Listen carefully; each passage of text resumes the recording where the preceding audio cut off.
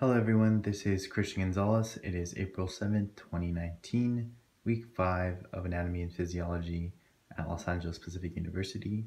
Uh, this week's lab topic and video exercise is on the axial and appendicular skeleton.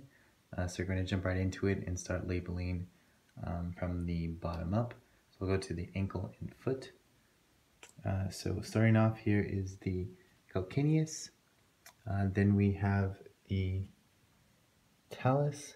We have the metatarsal, the phalanges. Then we have the cuboid. We have the intermediate cuneiform.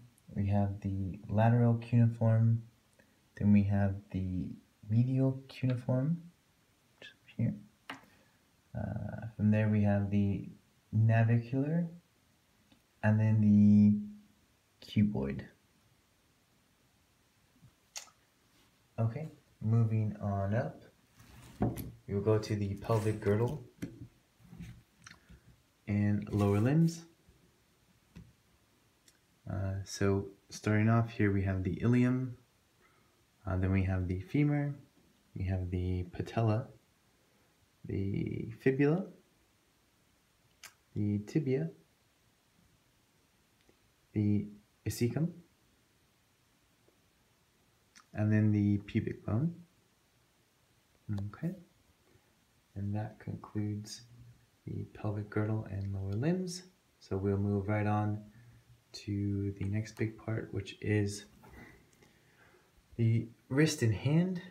So here we have the scaphoid, we have the lunate, we have the trapezium, the capitate, the sesamoid, the phalange, the metacarpal, the hamate, the fistula, and then the triquetrum. Okay, and then that concludes the wrist. So we will move on up to the pectoral girdle and upper limbs. So here we can see we have the scapula, we have the humerus, the clavicle, the radius, and then the ulna. And then we'll move on up from there. Uh, we will continue with the thoracic cage. And then following that, we'll go into the vertebral column. So the thoracic cage,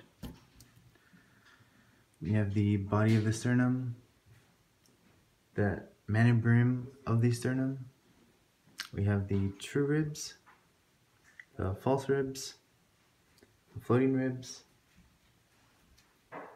and we'll move on to the vertebral column now.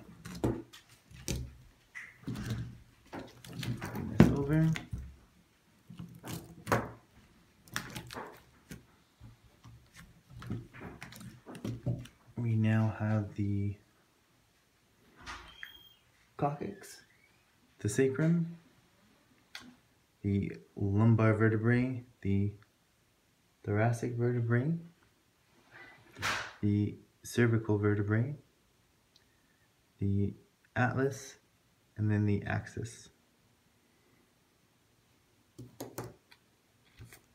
And then from there, we will move on to parts of the skull. Uh, so what we'll do here is we'll take a lateral view of the skull first.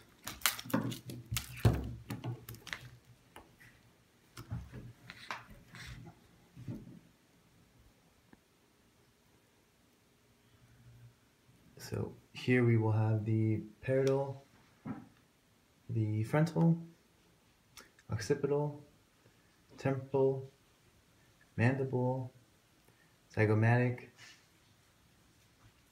uh, ethmoid and lacrimal, nasal, maxilla and mandible.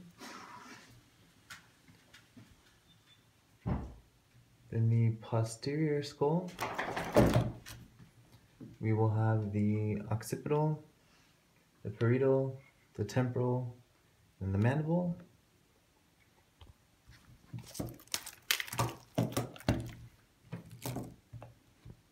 In the frontal skull, we'll have the vomer, the nasal, the frontal, the sphenoid,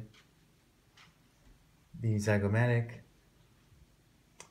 the lacrimal,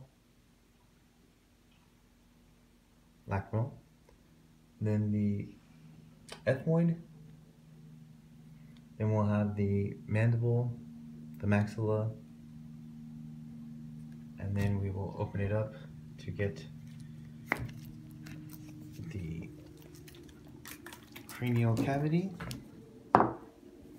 So in the cranial cavity, we have the parietal,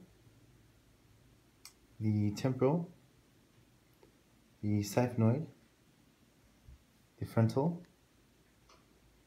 the ethmoid, and then the occipital. And that concludes uh, our lab for today. Thank you.